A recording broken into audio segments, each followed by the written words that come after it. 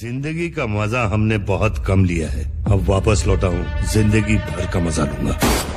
मेरे बारे में जो भी सुना होगा, बुरा ही सुना होगा। लेकिन मैं इतना बुरा नहीं हूँ कि मेरे बगल में खड़े होने से कोई बदनाम हो जाए। तू तू पाक नाल मिलती राशि मिठिया।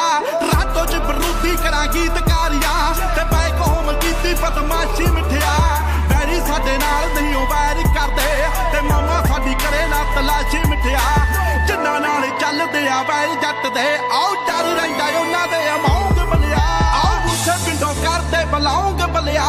ਕੰਮ ਜਿੱਥੇ ਹੁੰਦੇ ਬਲੇ ਰੌਂਗ ਬਲਿਆ। ਹਮ ਸਾਈਡ ਦੀਆਂ ਚੱਲਦੀਆਂ ਖਬਰਾਂ, ਤੇ ਡੱਥ ਵਾਲੇ ਚੱਲਦੇ ਆ ਸੌਂਗ ਬਲਿਆ। ਰਹਿਮਤ ਨੋ ਕਰਦੇ ਬਲੌਂਗ ਬਲਿਆ। ਕੰਮ ਜਿੱਥੇ ਹੁੰਦੇ ਬਾਲੇ ਰੌਂਗ ਬਲਿਆ। ਹਮ ਸਾਈਡ ਦੀਆਂ ਚੱਲਦੀਆਂ ਖਬਰਾਂ, ਤੇ ਡੱਥ ਵਾਲੇ